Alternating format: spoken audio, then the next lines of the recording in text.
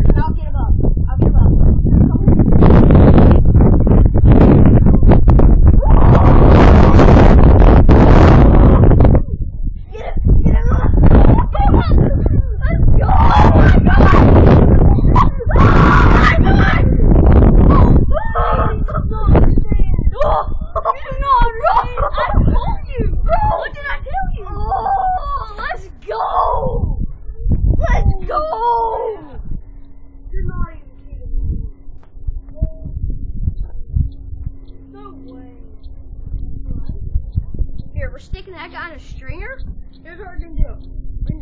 do you know how to tie a knot and get him on a stringer? Don't.